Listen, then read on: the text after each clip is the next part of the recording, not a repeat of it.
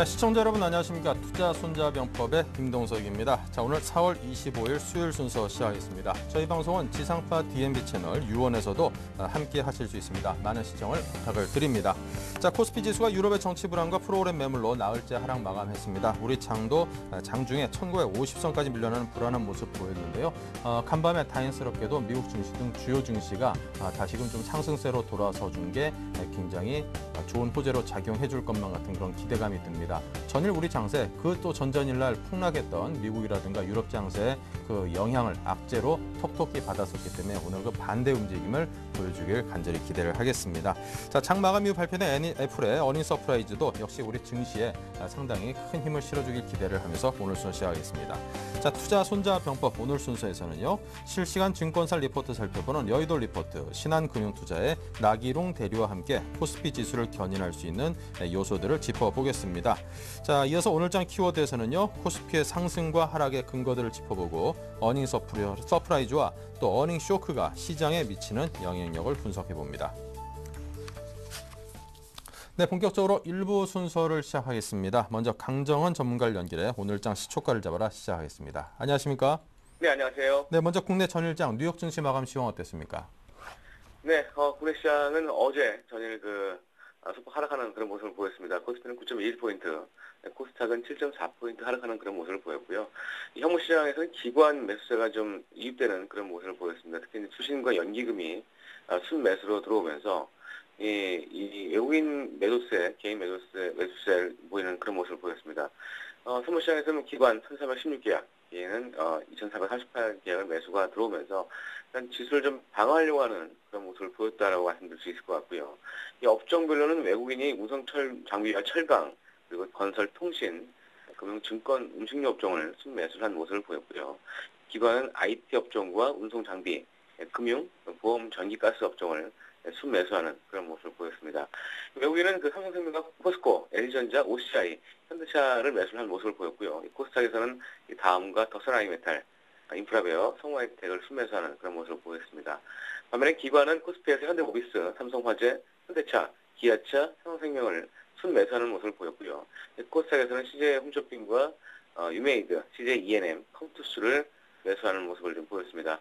외국인 기관 동시 매수한 종목은 현대모비스가 특징적으로 매수가 많이 들어온 모습을 보였고요. 삼성생명, 현대차, LG전자, 기아차 이런 운송 장비 업종, 자동차 업종에 대한 매수가 유입되는 부분이 아주 특징적이다고 보시면 되겠습니다. 코스닥에서는 덕산 하이메탈과 성광밴드, 어, CJ 오쇼핑, 성우하이텍 이런 종목들도 위주로 순매수하는 그런 모습을 보였고요. 어, 저희 그 뉴욕 증시는 혼조세로 장을 마감했습니다. 미국 기업 시장 개선으로 다우와 S&P 500 지수 어, 상승세를 마, 어, 마감했고요. 어, 애플 실적 둔화 우려로 나스닥은 소폭 하락하는 예, 그런 모습을 보였습니다. 어, 다우지수는 어, 74.49포인트 상승한 13,000포인트를 상승하는 모습을 보였고요. S&P 500 어, 지수도 5.03포인트 상승한 1371.97포인트로 마감을 했습니다. 하지만 그 애플 시적 둔화를 우려해서 나스닥은 전일 대비 8.85포인트 하락한 모습을 보였고요. 5월 연색 5개월 연속 하락하는 그런 모습을 좀 보였다고 말씀드릴 수 있을 것 같습니다. 뭐 이런 부분들, 뭐 지표는 부진하지만 이 미국 시장, 주택 시장은 여전히 침체 상태를, 침체 상태를 벗어나지 못하고 있는 상황이고요. 이 소비자들의 경기 그 기대감 역시도 예상보다 저조하게 나타나면서 이 지표는 좀 부진한 그런 모습을 보였습니다. 전체적으로 미국 시장, 기업 시장은 좋게 나타나는 그런 모습을 보였습니다만 시장은 아직까지 혼재설을 나타나고 있다고 보시면 되겠고요. 미국의 어, 컨퍼런스 어, 보도 역시도 소비자 신뢰 지수가 69.2%를 기록하면서 전체적으로 좀 좋지 않은 예, 그런 모습을 좀 보였습니다. 예상치보다 한 6, 아, 좋지 않은 그런 모습을 보이면서 일단 기술적 반등이 어떤 근거한 그런 반등이 아닌가 이런 생각을 해봤고요. 아직까지는 시장에 대한 어, 낙관적인 어떤 시각은 좀 경계해야 된다 이런 말씀을 드리 도록 하겠습니다. 네, 저 어제 추천하신 종목은 디지텍 시스템이었습니다. 어땠습니까? 네, 디지텍 시스템은 어제 어, 소폭 하락하는 모습을 보였는데요. 어, 장중에 상승세를 보였다가 어제 마이너스 1.19포인트 하락하는 모습을 보였습니다. 디지텍 시스템 뭐 1분기 실적, 최대 실적 달성 어, 공시를 좀한 상황이고요. 역시 이제 어, 거기는 ITO 필름의 내재화 그리고 실적 호전, 특히 올해 실적 대비해서 현 주가 19,000원대 밸류에이션 매력이 있는 그런 종목으로 좀 판단하시고요. 계속적으로 보유 전략으로 제시드리겠고 제가 시나리오 14,000원 목표가를 제시, 어, 염두하시고 또 손절가도 12,000원 하회하지 않는다면 계속적으로 보유 전략으로 하시라는 말씀 드리겠습니다. 네, 손절가를 하회하지 않는 한 보유를 제시를 하셨습니다. 오늘장 관심 종목은 뭡니까? 네, 오늘 어, 오늘장 공략주는 슈프리마를 제시해드리겠습니다. 이 슈프리마는 지문 인식 전문 그 업체고요. 뭐 무인 경비 업체인 그 S1의 그 도어록 지문 인식 시스템 그리고 외교부와 법무부의 어, 전자여권 판독기, 스캐너 등을 보급하고 있는 그런 업체라고 보시면 되겠습니다. 국내 지문 인식의 부동의 1위 업체라고 보시면 되겠고요. 투자 포인트는 네 가지 줄수 있는데요. 첫 번째는 세계 바이오 인식 시장이 어떤 고성장세를 줄 수 있습니다.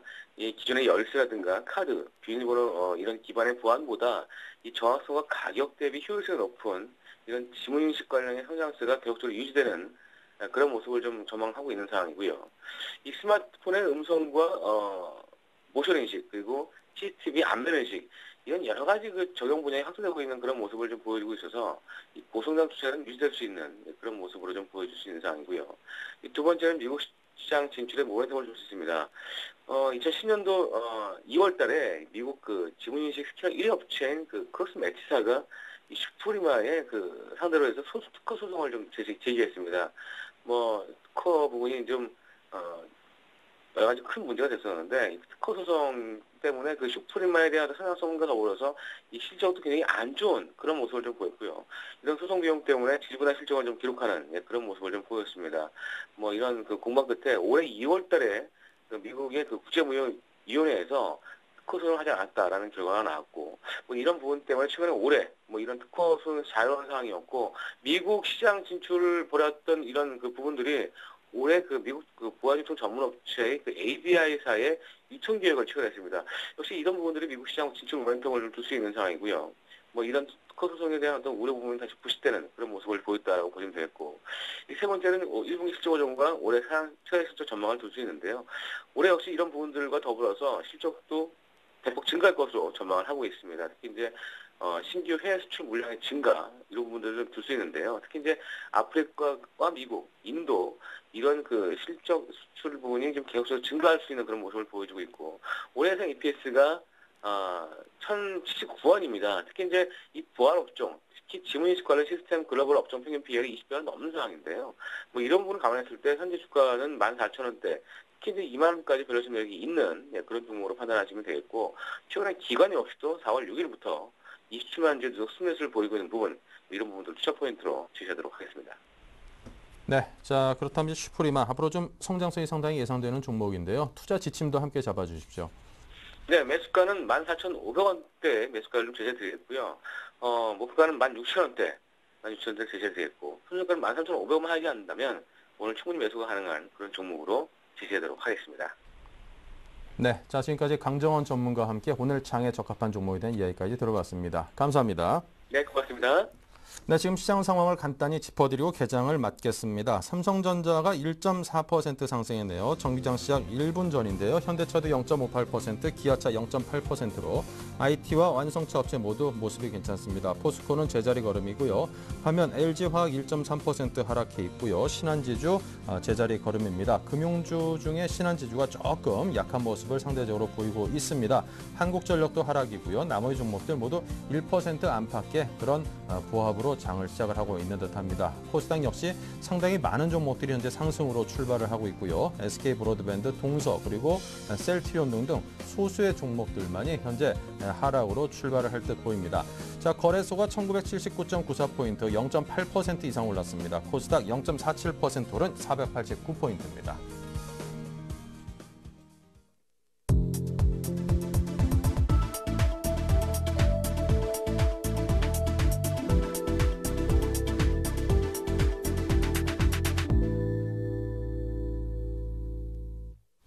네, 일부 함께 진행할 두 분의 전문가를 모셨습니다. 오늘 로즈스탁의 이상로 대표, 이경일 팀장 두 분과 함께합니다. 어서 오십시오. 네, 반갑습니다. 네.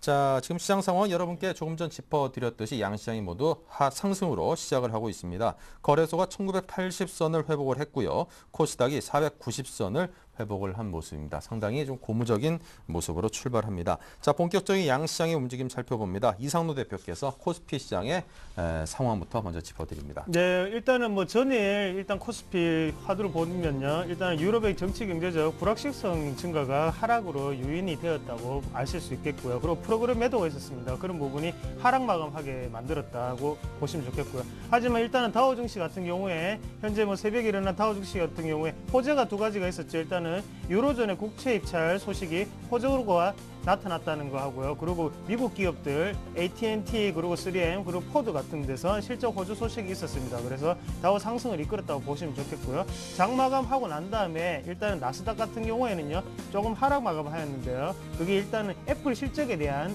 경계감 때문에 하락 마감 하였는데 애플 같은 경우에 지금 실적 자체가 상당히 좋게 나왔습니다. 어닝 서프라이즈를 기록했고요.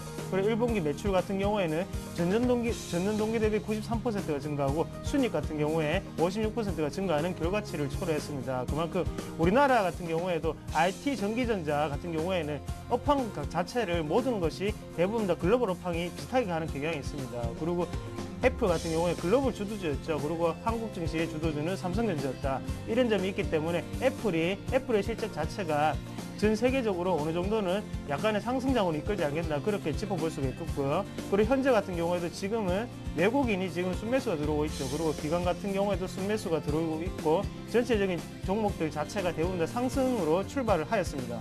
그래서 지금 같은 경우에 일단은 오늘 수급적 상황 한번 살펴보시면요. 시총 상위주 한번 살펴보겠습니다. 뭐 삼성전자 같은 경우에도요 지금 약간 21선 밑에서 지지 테스트를 받고 있는데요 지금 같은 경우 1.6%로 급등을 하면서 출발을 하고 있습니다 그리고 현대차 같은 경우에도 일단은 좋은 모습 보이고 있죠 어제도 많은 어제도 상당한 지금 수급 자체가 많이 들어오면서 오늘도 약간의 좋은 모습으로 강보합권으로 출발을 하고 있는 모습입니다. 그리고 포스코 같은 경우에는 약간의 약보한 모습을 보이고 있습니다. 철강주 쪽에서도 매수가 들어가긴 들어가는데 일단은 저가 매수일 가능성이 많습니다. 그래서 그걸 한번 주의해서 한번 살펴보자고 말씀을 드리겠고요.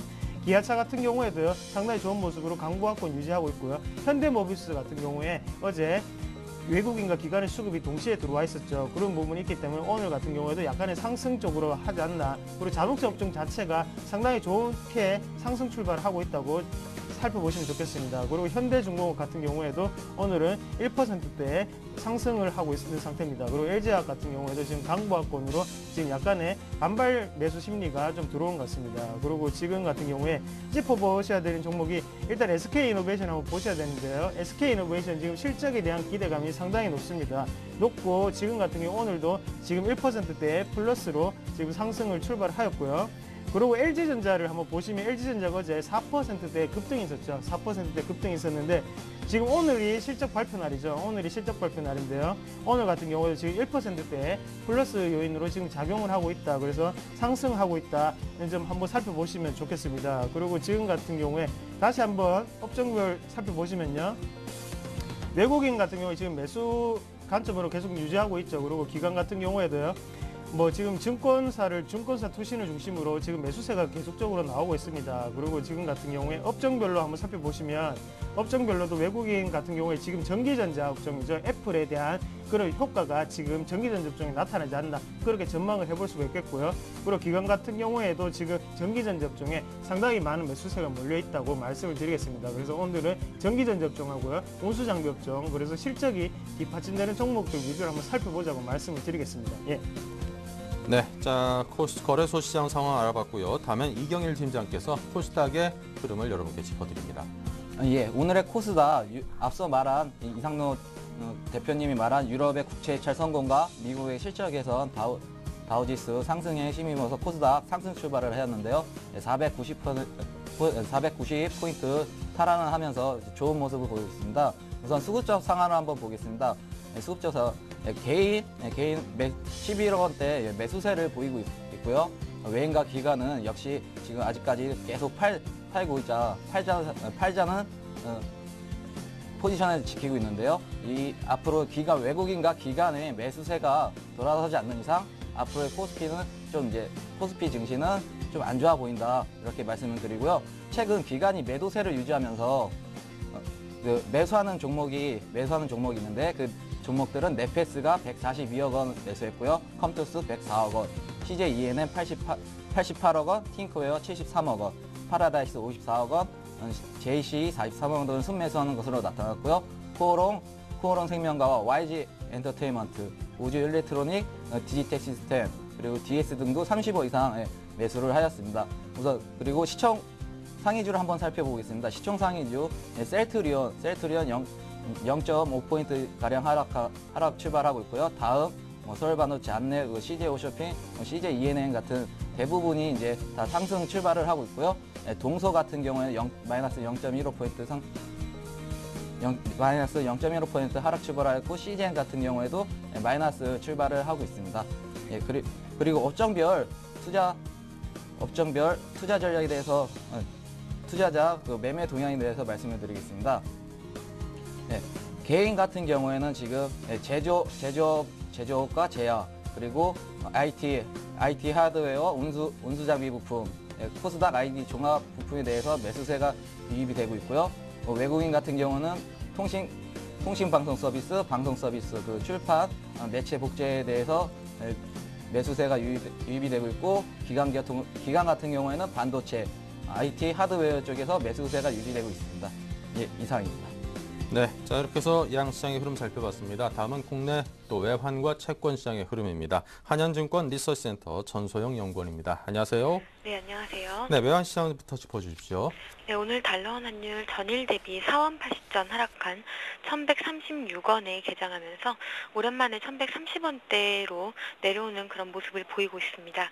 미국의 경제 지표는 주택 지표는 뭐 예상보다는 좋게 나왔다곤 하지만 어, 심리 지표가 그렇게 좋게 나오지 않으면서 즉 지표 자체로 전반적인 혼조세를 나타냈습니다. FOMC가 어제부터 해서 계속 진행 중이기 때문에 관망세가 여전하다라고 볼 수가 있겠는데요. 어, 스페인은 단기물 입찰이 성공하면서 유로화가 상대적으로 상승을 했습니다. 이런 요소로 달러화가 약세를 보이는 모습을 보였고요. 이래서 오늘 환율도 전일 대비는 강세를 연출할 것으로 예상이 되고 있습니다.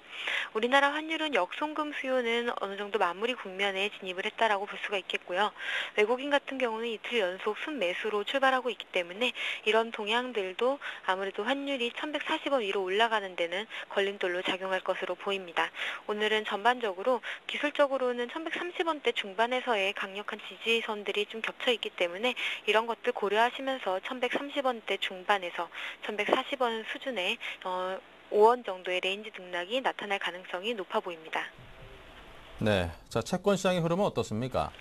네, 오늘 채권 시장은 소폭 약세를 보이고 있는 모습입니다.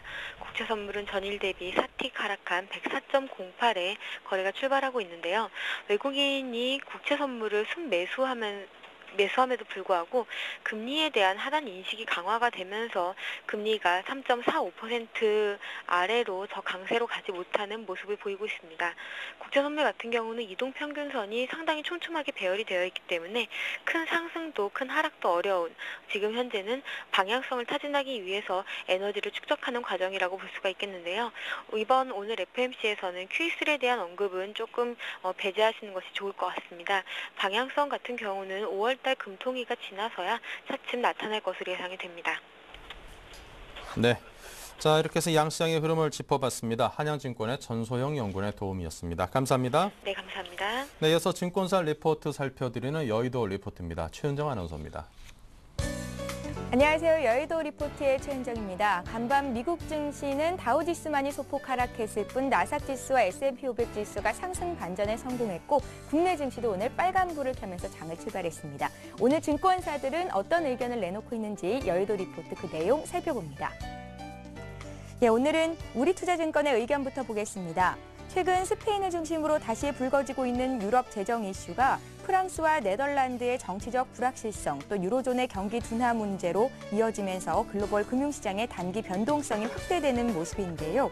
하지만 우리투자증권은 최근 코스피가 하락하면서 가격적인 부담이나 valuation 부담을 상당히 덜어낸 모습으로 코스피의 1930선의 지지력이 기대되는 이유에 대해서 설명했습니다. 먼저 이후로는 매도 압력이 약화되고 있고 또 극심한 침체권에 위치했던 수급 상황이 turn around 가능성을 높이고 있습니다. 또 단기 조정의 마무리 가능성을 높여주는 코스피의 20일과 60일선의 dead cross가 발생했는데요. 종합해보면 아직 시장의 반전을 이끌 만한 모멘텀이 강하게 부각되지는 못하고 있지만 증시 주변 여건들도 점진적으로 개선될 것으로 예상되면서 글로벌 증시의 반전 가능 성에 초점을 맞춘 투자 전략이 필요하다고 조언합니다. 이어서 하나대투증권의 의견 보겠습니다. 종목의 쏠림 현상 심화가 시장 대응을 갈수록 어렵게 하고 있지만 기술적인 반등 가능성에 무게를 두자고 조언했습니다. 미국이 유럽발 악재의 방파제 역할을 해주고 있으며 전일 프로그램 매도를 무난히 소화해냈다는 점, 최소한의 기술적 반등을 이끌어낼 수 있는 빌미가 될 것이라고 설명하고 있는데요. 그러나 큰 틀에서 스페인의 역성장 우려가 재정 위기와 함께한다는 점에서 아직까지는 반등을 기술적 반등 이상으로 평가하는 것은 바람직하지 않다고 판단을 내렸습니다. 중장기 유망 종목으로는 SK 이노베이션, 롯데쇼핑, 삼성전자를 꼽았고요. 단기 유망 종목으로는 GS건설, 제일기획, 현대위아를 들고 있습니다. 자, 이어서 동양증권의 의견 보겠습니다. 증시의 방향성을 예측하기가 참 어려운 시점이라고 생각하고 있습니다. 어, 팔자니 뭔가 아쉽고 또 사기에도 한 2% 정도가 부족해 보이는 장인데요. 하지만 단기적으로 글로벌 금융시장 위험 지표와 투자 심리가 추가적인 하락 리스크보다는 반등 가능성이 높은 시점이라고 판단하고 있습니다. 리스크에 대한 판단과 향후 방향성 체크를 위해서 중요한 지표들을 추려볼 필요가 있다고 조언합니다. 스페인과 이탈리아 자국의 장단기 금리차, 또 프랑스와 네덜란드, 독일과의 10년물 국채 금리차 등과 같은 지표들을 확인할 필요가 있다고 조언하고 있습니다. 자, 이번에는 삼성증권의 의견을 보겠습니다. 스페인 재정 건정성 우려에 더해서 프랑스와 네덜란드의 정권 교체 가능성까지 부각되며 불확실성이 커집니다. 증시가 연일 약세를 보였었는데요. 오늘은 반등을 줍니다. 음, 그렇지만 이 때문에 그렇지만 이 때문에 유로존에 대한 우려는 커졌지만 증시를 제외하고 본다면 각종 금융 지표들이 불안감을 반영하는 정도는 아니라는 판단인데요. 최근에 부각된 일련의 이슈들은 새로운 악재의 부각이 아니라 유로존 재정위기 해결 과정에서 자연스럽게 나타나는 노이즈로 보는 것이 타당하다는 판단입니다. 자, 아직은 추세적인 하락이 아닌 제한적인 약세를 염두에 둔 대응이 바람직해 보인다고 조언하고 있는데요. 1분기 실적 발표를 앞두고 있는 자동차 업종, 또 실적 호조 기대감이 여전한 IT 업종에 대한 관심을 유지한다고 판단하고 있습니다. 예, 이렇게 해서 여러 증권사들의 의견을 봤는데요. 오늘은 신한금융투자로 가서 좀 더 자세한 투자 의견을 들어보도록 하겠습니다. 안녕하세요. 예, 안녕하세요. 예, 나기롱 대리 오늘 신한금융투자는 어떤 의견을 내고 있는지 함께 정리해 주십시오. 예, 오늘 신한금융투자에서는 유로존 관련한 이슈를 가지고 리포트가 나왔는데요. 유로존 유로존 관련해서 계속해서 나오는 이야기들이 프랑스 쪽에서 나오고 있는 선거 문제와 그리고 네덜란드 재정 긴축안이 부결된 것이 가장 크게 부각이 되고 있는 것이 현재 상황입니다. 현재로서는 독일에서 지난 어, 23일부터 해서 주가가 크게 하락을 했다가 다시 반등을 하는 분위기였고요. 프랑스 같은 경우에도 월요일에 2.8%나 하락을 했었는데요. 이와 같은 움직임들은 최근에 협약을 했었던 신재정 협약을 둘러싸고 다시금 이슈가 부각되고 있는 것으로 보여지고 있습니다. 이 같은 이슈들은 경제적인 범주를 벗어난 정치적인 문제이기 때문에 실제적으로는 굉장히 큰 영향력이 있으면서도 예측이 굉장히 어려운 것들인데요. 국가별로 상황을 조금 더 자세히 살펴보자면 현재 프랑스 같은 경우에는 대통령 선거에서 가장 우세한 올랑드가 신재정 협약을 다시금 재검토하고 하겠다는 공약을 내세움으로써 현재 과거에 했었던 이후의 협약을 무효화시킬 수 있다는 우려감이 들고 있는 상황이고요.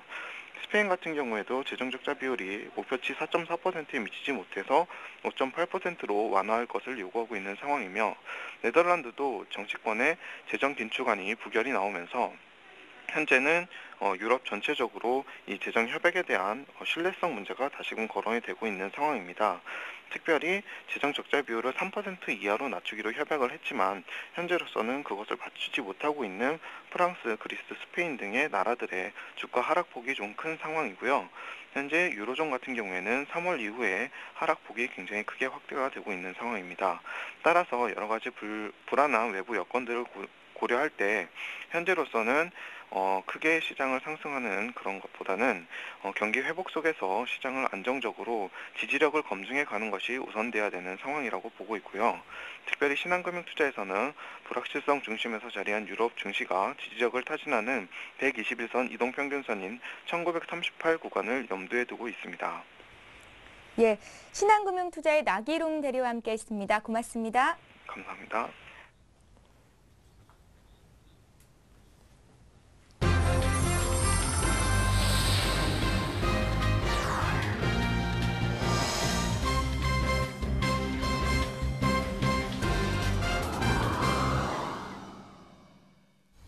네, 전문가들의 매매 기법을 통해서 상한가를 노려보는 day trading one shot one kill입니다. 유화증권의 김병중 주임과 함께하겠습니다. 안녕하십니까? 예, 안녕하십니까. 네, 자 오늘 어떤 종목에 대한 말씀을 준비하셨습니까? 예, 금일 추천드릴 종목은 포스코 그룹의 IT 서비스 및 인- 엔지니어링 기업인 포스코 ICT입니다.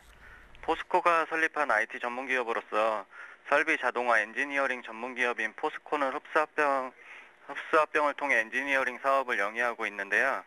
IT와 전기 제어 기술을 결합한 엔지니어링과 IT 서비스 기술을 기반으로 철강, 철도, 에너지, 건설 사업 분야에 주력하고 있으며 미래 성장 산업으로 LED 조명, cloud computing, smart grid, grid 등과 같은 친환경 녹색 성장 산업을 추진하고 있습니다.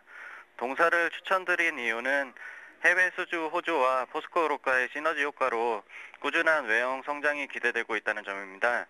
1분기 실적은 저조할 것으로 예상되지만 2분기부터 안정적인 실적이 예상되고 있어 올해 실적 예상치를 살펴보면 매출 기준으로 전년 대비 57% 증가한 1조 5,800억으로 전망되고 있고 영업이익 또한 전년 대비 180% 증가한 750억 원이 전망되고 있습니다. 동사 추천드린 이유는 또 다른 이유는 수급의 변화입니다.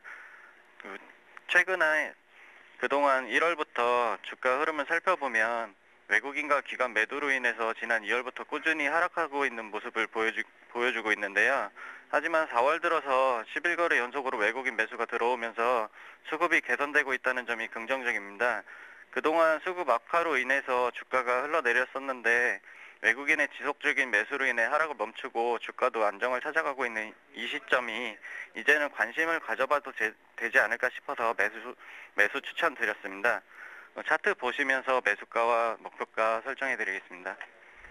그 차트를 보시면 지금 단기적으로 바닥을 찍고 한번 상승 후에 1차적으로 조정 살짝 보이다가 이제 다시 한번 상승을 노릴 수 있는 시점인데요.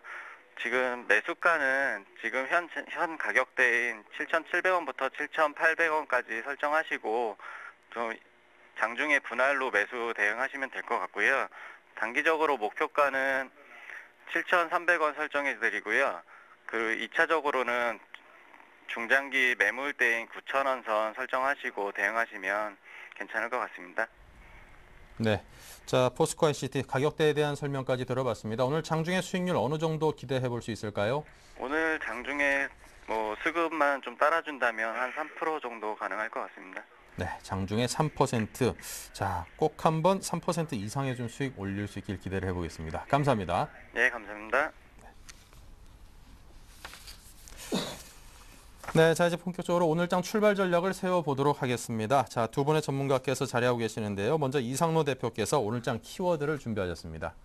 예, 일단은 지금 현재적으로 키워드를 한 개만 딱 한다면 단어를 한마디로 줄여서 말씀을 드린다면 뭐 일단 지금 실적이라고 말씀드릴 수 있겠는데요. 일단은 다우 증시 어제 끝나면서 장마감 뒤에 애플의 그런 소식이 있었습니다. earning surprise 소식이 얼마만큼의 효과가 있는지 지금 전 세계적으로 지금 진짜 아시아 증시 자체도 어느 정도 올라가고 있고요. 그리고 우리나라에 미치는 전기전자에 미치는 영향력도 상당하다고 말씀드릴 수 있겠습니다. 그만큼 어느 글로벌 주도주나 이런 기업들의 한계가 미치는 영향력은 그 효과가 파급 효과가 상당하다고 말씀드릴 수가 있겠고요.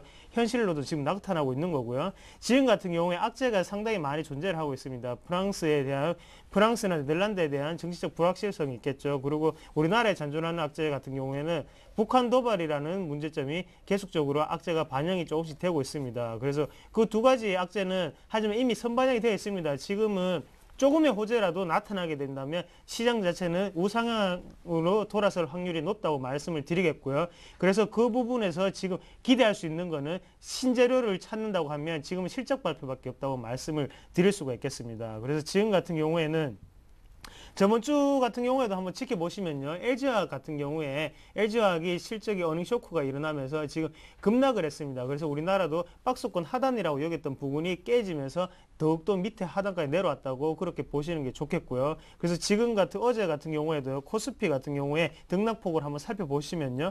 206개 종목이 상승을 했어요. 근데 70개 707개 종목 자체가 하락을 했습니다. 그만큼 개별적 위주로 간다는 말이고요. 그리고 지금 같은 경우에는 업황별로 좀 다르게 움직인다. 그래서 지금은 쏠림 현상 자체가 아직까지도 일어나고 있다고 그러, 아직까지 일어나고 있는 부분이 있기 때문에 그런 부분을 꼭 참고해서 보자고 말씀을 드리겠습니다. 그래서 일단은 지금 지수 하단이라고 내려왔는데요. 지수 하단인데 우려보다는 일단 1분기 실적이 발표가 되는 거에 따라서 업종별이나 종목별로 차별화 가능성을 예, 가능성에 관심을 열고 한번 지켜보자고 말씀을 드리겠습니다. 그래서 이번 주 같은 경우에 ITA 전기전자 그리고 자동차 업종에 무더기 실적 발표가 예정되어 있습니다. 그래서 지금 같은 경우에 보시면 일단 LG전자 같은 경우에도 오늘 실적 발표가 있죠. 실적 발표 전에 어제 상당히 많은 급등이 일어나는 모습을 보여주었습니다. 그리고 지금 어제 시장을 한번 분석해 보시면요. LG 생활건강 같은 경우에도 실적 발표를 했죠. 그리고 최대 매출을 달성을 했습니다. 최대 매출 달성을 하면서 안에 실적적으로 한번 기업 제- 자체를 한번 살펴보시면 일단은 LG 생활건강 같은 경우에는 생활용품도 하고요. 그리고 화장품 사업 자체도 하고 있죠. 여기서 어느 어디에서 실적이 많이 났냐고 한번 보시면 안에서 한번 자세하게 살펴보시면 LG화학 같은 경우에는 예, 화장품 사업 자체에서 실적이 상당히 많이 났습니다. 그만큼 화장품 사업 자체에서 전년 동기 대비 24.6%의 매출이 오버 달성이 됐죠. 그리고 영업이익 같은 경우에도 25.1%가 증가했고요. 그런 부분이 있기 때문에 그러면 아니, LG 생활 건강을 보시더라도 화장품 사업 자체가 잘 된다는 걸 볼 수가 있을 겁니다. 그러면 그 업종 자체에 대해서 화장품 업종이 어떤 게 있느냐, 그리고 중국발에 대한 중국 소비 관련주로 통하죠. 화장품 업종 자체가 그만큼 해외에서 수주를 많이 받고 해외에서 판매가 많이 된다는 겁니다. 그래서 화장품 업종도 눈여겨볼 수 있다. 그렇게 한번 보시면 좋겠고요. 그리고 어제는 또 삼성테크원의 또 테- 삼성테크인의 예, 실적 발표가 있었습니다. 그러면서 흑자 전환에 성공을 했다는 점이 있었는데요. 수익성을 왜 개선이 되었는지 한번 살펴보시면요. 일단은 네트워크 카메라라고 하죠. CCTV에 대해서 보안 제품의 판매가 증가했고요. 그리고 전반적인 IT 경기의 회복이 일어나면서 반도체 부품과 장비 사업의 수익성도 개선되었다는 점을 한번 살펴보실 수 있습니다. 그만큼 이런 부분이 있기 때문에 그냥 보안 서비스 관련 업종 같은 경우에도 한번 눈여겨 보실 수 있는 거고요. 이런 식으로 연관돼서 먼저 내가 실적을 어떻게 일반 개인들이 어떻게 실적을 낳는지를 보는 걸 그거를 미리 알 수는 없습니다. 미리 알 수 없고요. 대신에 연관된 종목들을 보- 살펴보면서 아 이 기업들이 많이 갔기 때문에 이 기업들이 주로 하는 영위하는 사업이 어떤 사업인지 보시고 따로 추후에 실적 발표 나는 종목들을 한번 살펴보시면 좋은 흐름으로 한번 보실 수 있을 겁니다. 그래서 OCI 같은 경우에도 실적 발표 났는데요. 1분기 영업이익 같은 경우에 162억 원을 기록하면서 전년 동기 대비 32%가 하락했죠. 그래서 아직까지는 철강 업종 같은 경우에는 한번 조금 더 유심히 지켜보자고 한번 말씀을 드리겠습니다. 지금은 기간 수급은 저가 매수세로 들어오는 기간 수급이 있고요. 지금 실적에 대해서 들어오는 기간 수급이 있습니다. 그 부분을 참고를 하셔서 확실하게 어디가 실적 발표 자체가 기대감이 오르는 종목이 있는 반면에 그리고 저가 매수기 때문에 오르는 종목이 있으니까 그걸 구별하셔서 꼭 투자를 하자고 말씀을 드릴게요. 그래서 저가 매수세 오른 종목은 개인들이 수익성을 실현하기는 상당히 어렵습니다. 단기적이 단기적인 상승이기 때문에 그건 힘들고요. 대신에 실적이 뒷받침되는 종목 위주로 한번 투자를 하신다면 괜찮은 방향으로 보실 수 있다고 말씀드리겠고요. 오늘 같은 경우에도 오늘은 LG전자의 실적 발표가 있죠. 그리고 내일 26일이죠. 내일은 현대차와 예, 현대모비스 그리고 삼성전기 실적 발표가 있습니다. 그만큼 왕성차 업종이나 운수장비 부품 업종에 대해서도 유심히 한번 지켜보시자. 그리고 지금 삼성전기 같은 경우에는 IT 부품주의 대장주격이죠. 그런 부분이 있기 때문에 IT 부품주가 어디가 관련이 있는지 그리고 오늘 애플의 실적 발표가 나면서요. 애플에 관련된 IT 부품주들이 어떤 게 있는지 한번 살펴보시자. 그래서 인터플렉스 같은 종목들 또 좋은 모습 항상 보이고 있으니까 애플의 관련주들도 한번 살펴보시자. 그렇게 말씀을 드리겠습니다. 예. 네, 자 이렇게 해서 어, 오늘 장 키워드를 짚어봤습니다. 자 계속해서 이경일 팀장도 오늘 말씀을 준비하셨는데요. 한번 들어보겠습니다. 네, 제가 준비한 거는 코스피 상승과 하락에 대한 근거를 좀 준비를 했는데요. 예, 지수 하락의 근거에 대해서 먼저 말씀을 드리겠습니다. 예, 첫 번째로 스페인과 유로존 등의 문제로 인해서 지수가 하락하는 이유인데요. 예, 피그스, 예, 남유럽 5개국이죠. 예, 그 국가들의 만기 구조가 2월부터 4월에 채권 만기 만기 규모가 연내 최대 규모에 일 것이라고 예상됐기 때문에 스페인의 4월 위기는 결국 채권 만기의 도래에 따른 우려, 우려가 반영됐다. 이렇게 다- 반영이 됐다라고 보여지고요. 그리고 두 번째로는 중국의 경제 성장률 둔화인데요. 1분기 GDP GDP 예상치가 0.3% 하락한 8.1%를 기록하면서 코스피, 코스피 어, 하락의 우려를 키웠지만 선행지수와 M2, M2는 저점을 탈피해서 반등 국면에 진입해 있다라고 말씀을 드리고 마지막으로 미국 미국이 한 최근 한 달 사이 고용 지표와 주택 지표가 부지 아, 주택 지표의 부진이 한층 우려를 키웠는데요. 예, 고용지, 고용지표 최악의, 고용지표는 최악의 상황을 지나서 어느 정도 완만한 회복선에 에, 들어선 것으로 보이고, 그리고 또 소비지표도 완만한, 완만하게 회복한 것, 어, 완만하게 회복될, 수- 회복을 기대할 수 있고, 최근 소비 지표들의 양호한 수준을 기록하고 있다는 점도 이변을 대변해주고 있는데요.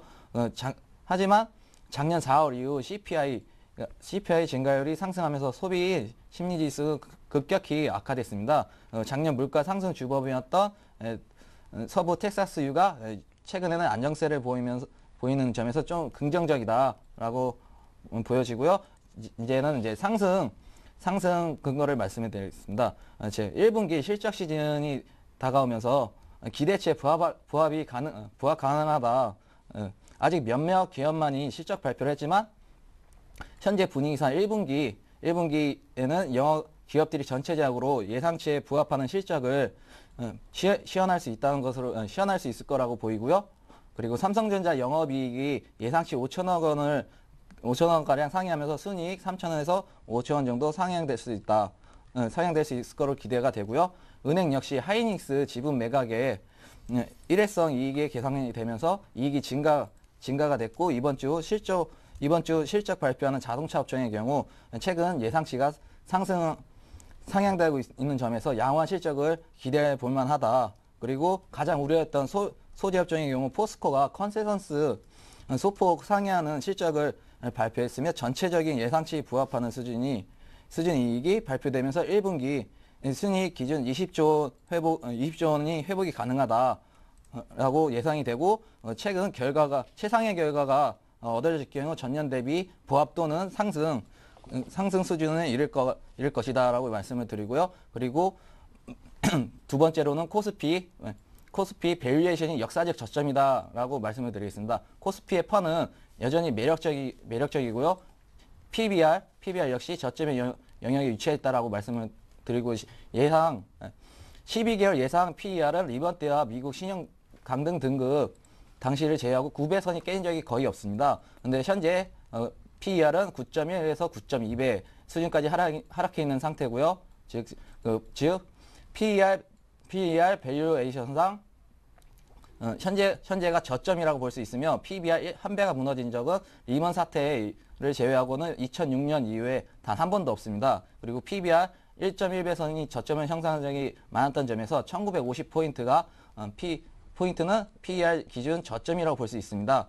어, 결국 PER 9배 P, PBR 1.1배선이 1950포인트가 강력, 강력한 지지 영역이라고 볼 수 있는 볼 수 있어서 어, 현재 지수는 추가 급락의 가능성은 제한적이다라고 말씀을 드리고 또 앞서 언급한 저- 언급한 다처럼 1분기 기업 이익이 양호한 수준을 기록한 기록할, 거, 기록할 것이라고 어, 시- 기록할 것이므로 현재 EPS의 추적, 추가적인 하향에 따른 PER 상승 가능성 역시 제한적이라고 할 수 있다는 점에서도 value, valuation상 지지 영역의 힘을 에, 강화시켜주고 있다. 그래서 지금은 팔 때가 아니라 매수 시점을 매수할 때라고 말씀을 드리겠습니다. 네, 지금은 팔 때가 아니라 오히려 매수할 시점이라는 것을 그 근거를 들어가면서 여러분께 상세하게 설명을 드렸습니다. 참고하시고요. 자, 다음은 업종별 투자 전략입니다. 먼저 이상로 대표부터 시작합니다. 예, 일단 업종별 투자 전략을 한번 살펴보시면요. 지금 같은 경우에 수급에서도 말씀을 말을 해주듯이요. 지금 오늘 같은 경우에도 외국인과 기관 자체가 지금 전기전자 업종과 지금 운수장비 업종에 많이 들어오고 있습니다. 그만큼 실적이 뒷받침되는 종목들 위주로 많이 간다는 걸 알 수가 있겠고요. 운수장비 업종 자체에서 보시면 조선주 쪽인 것 같아요. 조선주 쪽에 지금 오늘 수급이 상당히 좋다. 그래서 조선주 같은 경우에도요, 지금 보시면 일단은 수주 자체를 많이 받았습니다. 그래서 오늘 지금 같은 시장 살펴보시면 지금 삼성중공업 같은 경우에는 상당히 많이 올랐죠. 지금 3.4% 정도 오르는 상태인데요. 그만큼 많이 오르고 있다는 거 한번 살펴보실 수 있겠고요. 그래서 조선주 같은 경우에도 실적 개선이 두드러지고 있습니다. 사실상. 그래서 지금 시장의 테마 자체는 실적입니다. 실적 자체가 뒷받침되는 종목들은 많이 가고요. 대신 실적이 뒷받침되지 않는 종목들은 투신과 기금에서 예, 저가 매수가 들어올 뿐이지 절대로 개인이 들어가서 그 이상 수익 이익 실현을 하기는 힘듭니다. 그렇기 때문에 조선주도 한번 유념해서 한번 살펴보시자고 말씀을 드리겠고요. 그리고 자동차 업종을 들 수가 있겠는데요. 일단은 우리나라 자체가 지금 같은 경우에는 IT, 전기전자가 뒷받침이 되어줘야, 되어줘야지만 지금은 지수 자체를 지킬 수 있습니다. 그만큼 차지하는 비중 자체가 우리나라에서 차지하는 비중 자체가 상당하고요. 그래서 지금 같은 경우에는 현대차나 기아차 같은 경우에는 지금 실적 자체가 좋게 나오는 거는 대부분 다 기대를 하고 많이 기대를 하고 있습니다. 그래서 예상치 자체가 상당히 높게 나타나 있는데요. 문제는 이렇게 earning surprise를 시장을 바라고 있습니다. earning surprise가 이루어질 수 있도록 지금 한번 살펴봐야 되겠고요. 그래도 아직까지 실적이 가장 좋게 나타나는 거는 자동차 업종이다라고 말씀을 드리겠고요. 그리고 얼마 전에도 운수장비 부품 업종으로 해서 코스닥이나 코스피의 중소형주 같은 경우에 많이 많이도 움직임이 좋았습니다. 그리고 지금 같은 경우에 수급 자체도 많이 좋게 나오고 있는데요. 그런 부분이 있기 때문에 지금 같은 경우에 현대차와 기아차, 완성차에서도 기대가 해볼만 하다고 말씀을 드리겠고요. 그리고 IT 전기전자에 대해서도 지금 삼성전자를 필두로 해서요. 전체적인 시장 자체가 외국인과 기관의 수급이 들어오면서 그만큼 실적에 대한 뒷받침이 된다는 것을 어느 정도는 근거가 좀 있는 것 같습니다. 그런 부분이 있기 때문에 계속적으로 눈여겨보시자고 말씀을 드리겠습니다. 그리고 오늘은 LG전자의 실적 발표가 있는 날이죠. 그 점 한번 참고하셔서 한번 시장에 한번 임하시자. 그래서 지금 같은 경우에는 조선업종 그리고 지금 IT, 전기전자 그리고요.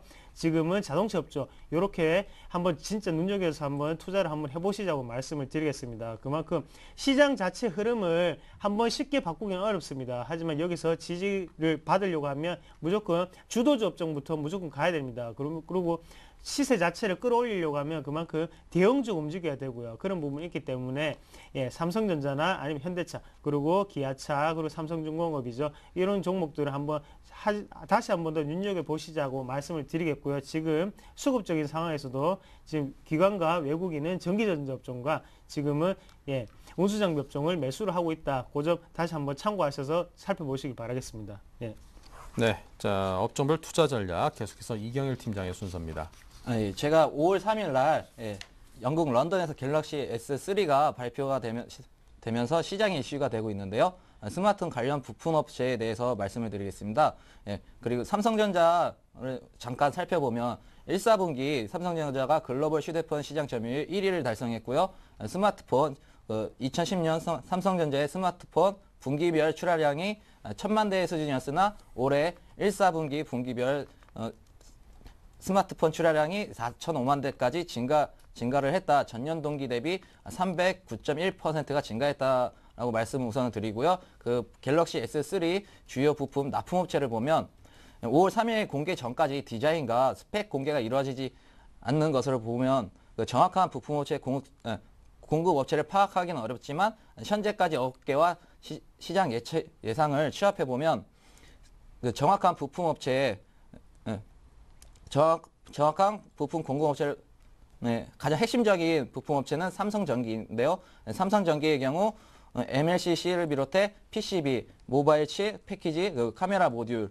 어, vibration 모터 등을 삼성전자에 공급하고 있으며 그리고 삼성전기와 함께 main PCB와 모바일 칩 패키지 그리고는 대덕전자가 나, 공, 납품을 하고 있고요. 카메라 모듈, 카메라 모듈은 파트론, 자화전자, IM, 어, 카메라, 카메라 모듈 내에 IR 필터는 옵트론텍, 어, 배터리는 삼성 SDI, 어, 커넥터 역할을 하는 FPCB는 어, 인터플렉스, BH, 그리고 플렉스컴, 그리고 케이스, 케이스는 인탑스와 신양, 그리고 터치 패널 및 터치 센서는 센서 칩은 일신 디스플레이와 디스플레이와 멜파스, 그 AMOLED 공통층 소재는 덕산 하이, 하이메탈, 그리고 충전기 안테나는 RF텍, 그리고 SAW 필터와 GPS 모듈은 와이솔이 공급 할 것으로 추정이 되고요. 이들 업체 이들 업체들이 갤럭시 S3의 주요 부품 서, supply chain을 이루고 있는 것으로 볼, 볼 수가 있으며 이들 업체에 대해서 참고를 하시면서 접근을 하자 시장 투자에 접근을 하자고 말씀드리겠습니다. 네. 자, 다음은 동부증권 신논현역지점의 김성원 차장이 준비되어 있습니다. 전화 연결로 코스닥 특징주 듣겠습니다. 안녕하십니까? 안녕하십니까? 네, 먼저 현재 시장 상황부터 들어볼까요? 네, 미 증시는 주요 기업 실적이 호조를 보였으나 주택 지표가 부진했고 소비자 경기 기대 지수가 예상보다 저조하게 나오며 보합 마감했습니다. 현재 코스피는 대부분 업종이 상승을 하며 9포인트 상승한 1973포인트를 나타내고 있습니다. 1분기 어닝은 기대에 못 미치는 기업들이 많을 것으로 보입니다. 외국인의 매도세가 언제 본격 매수로 전환하느냐가 향후 증시의 관건입니다. 전일 외국인이 소폭 매수세를 보인 것은 긍정적이고요. 어, 외국인의 본격 매수 전환을 위해서는 원달러 환율이 어, 현재 1140원 근처에서 1100원 초반으로 돌아서는 것이 중요합니다. 네. 자, 그렇다면 오늘 이 시장 상황에 맞는 회사 종목 준비하셨을 텐데요. 어떤 겁니까? 네, 국내 대표 의료용 소재 개발 전문 기업인 메타바이오메드입니다. 생분해성 봉합 원사, 치과용 충전재, 인공뼈를 주력 사업으로 하고 있습니다. 특히 생분해성 봉합 원사는 수술 후 체내에서 일정 기간이 지나면 분해되어 없어지는 재료이며 미국 존슨앤존슨의 자회사인 에티콘 등 전 세계 7개에서만 이 기술을 보유하고 있습니다. 실적도 눈에 띄게 증가해 지난해 전반적 경기 불황에도 불구하고 매출액과 영업이익이 지난해보다 각각 8%와 18% 증가한 252억 어, 그리고 35억 6천만 원을 기록했습니다. 해외에서도 지난해부터 가시적 성과를 보이고 있습니다. 지난해 3월 인도의 제1봉합사 판매업체인 슈처스사와 봉합원사에 대한 100만 달러 규모 계약을 체결했고 중국 상하이 푸동사와 180만 달러 공급 계약을 맺었습니다. 올해 2월에도 세계 최대 치과 재료 유통기업인 헨리샤인과 제품 계약을 체결했습니다. 판매 대상 기업도 크게 늘어서 현재 미국과 유럽, 중국, 러시아 등 전 세계 90여 개국에 200여 고객사를 확보하고 있고 해외 매출 비중이 전체 매출의 94%에 달할 정도입니다. 메타바이오메드는 이처럼 증가하는 해외 시장 수요를 안정적으로 맞추기 위해서 지난해 3월 오송 생명과학 단지로 본사와 공장을 확장 이전했습니다. 네. 자, 그럼 이 기업의 신성장 동력 어떤 것을 삼고 있나요? 네, 올해부터 뼈 시멘트 등 신제품 매출과 차기 성장 동력 확보를 위한 연구 개발을 본격화합니다. 올해 가장 주목하는 생체 재료는 혈관 문합기입니다. 혈관 문합기는 장기 이식 때 혈관을 연결해주는 의료기기로 빠른 시간 안에 혈관을 봉합할 수 있다는 장점이 있습니다. 수술 과정에서 시간이 길어질수록 장기가 입는 피해가 커지는데요. 혈관 문합기는 이 피해를 최소화시킬 수 있어 새로운 대안으로 기대를 모으고 있다며 현재 국내와 해외를 통틀어서 메타바이오메드만이 유일하게 보유한 기술로 최근 동물 임상 시험을 성공에 마쳤고 곧 상용화할 예정이라고 합니다. 피부 재생용 젤과 인공 각막 제품 개발 역시 속도를 내고 있습니다. 비독성, 비바람성, 비자극성의 장점을 가진 피부 재생용 젤은 연령별 개인 피부 상태별로 시술이 가능하고 피부의 자연스러움을 최대한 살린 게 특징입니다. 최근 세포 조직 재생 분야 기술을 보유한 T바이오스와 피부 재생용 젤과 인공각막 제품 개발 투자 협약을 체결했다며 협약을 통해서 핵심 기술 이전과 전용 실시권을 갖게 됐다고 합니다. 네. 자, 그렇다면 구체적인 투자에 필요한 가격대를 잡아주십시오. 네, 현 주가는 PR 44배, PBR 1.4배로 수익 대비 밸류에이션은 좀 비싼 편입니다.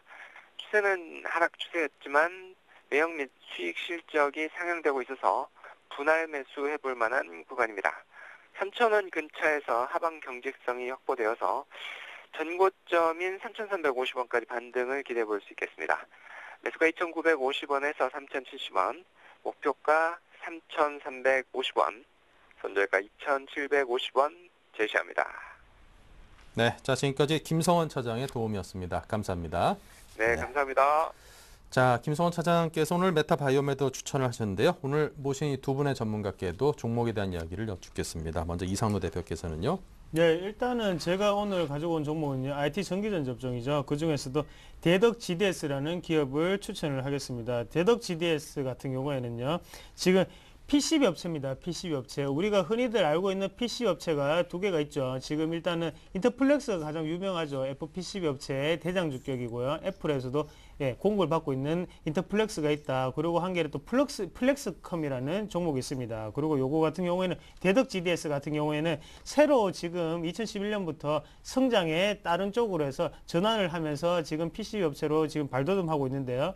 그전 같은 경우에는 원래 가전용 PCB였습니다. 그런데 지금 같은 경우에는 산업용 PCB로 전환을 하였습니다. 그러니까 가정용 PCB가 뭐냐면 일단은 TV나 모니터, DVD 플레이어 같은 예, 일단은 마진 고부가 가치는 아니고요. 마진 자체가 조금 떨어지는 것들 위주로 많이 하였었는데요. 이제 대덕 GDS 같은 경우에도 지금은 스마트폰이나 예, LED 모니터 쪽으로 많은 성장을 다변화롭게 하고 있습니다. 그래서 그쪽에서도 지금 매출이 나오고 있는 상태고요. 지금도 좋은 모습을 보이고 있습니다. 그리고 지금 보시면 지금 동종업종의 FPCB 제가 말씀드렸던 거기에 대한 기업들 인터플렉스에 비해서 지금 주가 상승률 같은 경우에는 그 부분은 같은 경우에는 36.3%가 올해부터 증가를 했습니다. 하지만 지금 대덕 GDS 같은 경우에는요 아직까지 22.8%에 그치고 있습니다. 그래서 추가적인 상승 여력이 있다고 말씀을 드릴 수 있겠고요. valuation 측면에서 한번 보시더라도요. 일단은 인터플렉스 같은 경우에 13.4배고요. 그리고 플렉스컴은 9.0배입니다. 그리고 지금 대덕 GDS 같은 경우에는 PR이 6.7배예요. 그만큼 아직까지 PR이 EPS 기준으로는 아직까지 양호하다고 보시고 처- 투자를 하셔도 괜찮다고 말씀을 드리겠습니다. 그리고 한번 차트를 보면서 다시 한번 또 설명을 드리면요. 일단은 음 지금 같은 경우에는 예 수급 자체를 한번 살펴보겠습니다. 수급을 보시더라도 지금은 외국인이 꾸준히 지금 매수세가 붙고 있죠. 외국인이 꾸준히 매수세가 붙고 있는 상태에 지금 투신권도 투신과 기금에서도 지금 매수세가 붙고 있는 상태입니다. 그만큼 아직까지 수급적으로도 상당히 좋다고 말씀드릴 수가 있겠고요. 그리고 지금 같은 경우에 예. 저 차트적으로 한번 설명을 드리면요. 지금 신고가를 한번 찍었습니다. 신고가에 지금 한번 달성이 되고 난 다음에 다시 추가적으로 예.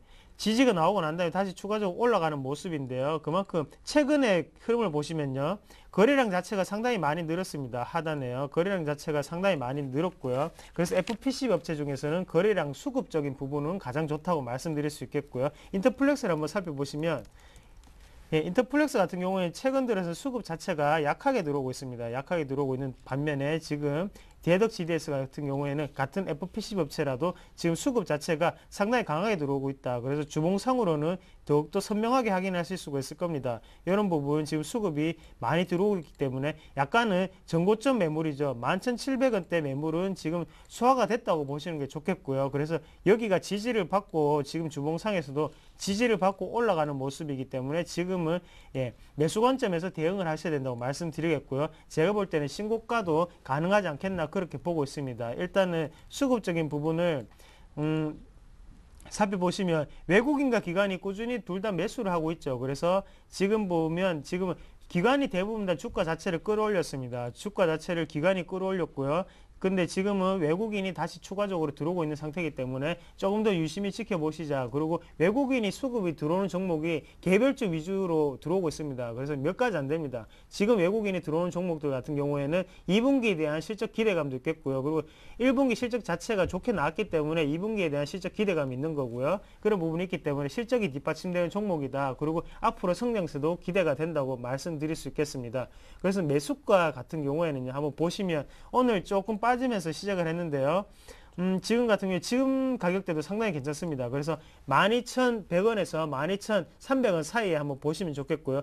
아까 전에 손절 같은 경우에는 제가 주봉상에서 짚어드렸던 가격이죠. 그래서 손절 같은 부분은 손절은 11,700원 선이죠. 11,700원을 보시고 손절을 하시자 말씀을 드리겠습니다. 그리고 목표가 같은 경우에는 단기적으로는 전 고점까지는 예, 무난하게 좀 성장을 가지 않겠나고 보고요. 그래서 13,800원 정도 보고 있고요. 그리고 대신에 장기적으로 보신다면 꾸준히 2분기가 끝날 때까지 6월 달까지 보신다면 어, 신고가가 가능하지 않겠나 그렇게 생각하고 투자를 하시면 좋겠습니다. 예. 네. 자, 이렇게 해서 오늘 제덕, 대덕 GDS 이상로 대표께서 준비하신 종목이었고요. 자, 다음에 이경일 팀장께서 오늘 종목에 대한 이야기 들려드립니다. 예, 제가 오늘 준비한 종목은, 종목은 BH, BH인데요. 예, IT 산업의 그 핵심 부품이 FPCB, 예, FPC와 그 응용 부품을 전문적으로 제조하는 업체고요. 그 삼성전자와 LG전자에 공급을 해- 하는 회사입니다. 그리고 최근 큰 폭의 이익이 개선이 개선이 됐고요. 어제와 오늘 그 신고가를 어, 기록하는 기록하고 앞으로의 성장성이 어, 가- 성장 가능성이 어, 다분한 기업, 기업입니다. 어, 그리고 이제 차트를 보면서 말씀을 드리겠습니다. 어, 최근 최근 기간이 계속 매도 매수를 하, 보이면서 예, 주가를 끌어올렸 끌어올렸는데요. 책, 그, 그리고 여기 이 부분, 이 부분이 어제 신고가랑 오늘 신고가를 기록한 부분이고, 또한 21선, 21선 위에서 반등을 보여주고 있다는 것은 앞으로 계속 상승을 더 하, 는 모습을 보여준다라는 모습을 보여주고 있습니다. 그래서 최근, 어, 지금 오늘 급등을 하면서 1%대 상승을 보여주고 있으면서, 어, 매수가가 조금 높게 잡히긴 하는데 아직도 이, 이 지금 매수가는 아직도 괜찮다. 아직 매수하기 가격이 괜찮다고 해서 이제 괜찮다고 보여주면서 8,800원을 매수 가격을 잡아드리고요. 그리고 이제 목표가는 만 원으로 만 원으로 잡아드리고 이제 손절가는 8,000 8,000원 잡아드리겠습니다. 네, 자 이렇게 해서 두 종목 BH까지 설명을 드렸습니다. 자 두 분의 전문가께서 발굴하신 종목이니까요. 한번 찬찬히 들여다보시기 바랍니다. 지금까지 로즈스탁의 이상로 대표 이경일 팀장 두 분과 함께했습니다. 감사합니다. 고맙습니다. 네, 샘플러스가 홈페이지 개편을 기념으로 전문가 방송 50% 할인 기념 이벤트 시작 아, 계속 진행하고 있습니다. 여러분께서 저렴한 가격에 좋은 서비스 잘 이용해 보시기 바라고요. 자, 서울경제TV 샘플러스에서 투자 전략 세미나 개최합니다. 청개구리 사단의 양순모 전문위원회 시장이 알려주지 않는 비밀이라는 주제로 세미나 개최합니다. 4월 28일 이번 주 토요일입니다. 오후 2시부터 4시까지 하이투자증권 송파점에서 에, 진행을 하고요. 참가비는 무료입니다. 궁금하신 점이 있으시면 저희 샘플러스 콜센터인 1577-7451로 접수 또는 현장에서도 접수가 가능합니다. 많은 참여 부탁드립니다. 자, 저희는 잠시 후 2부에서 뵙겠습니다. 감사합니다.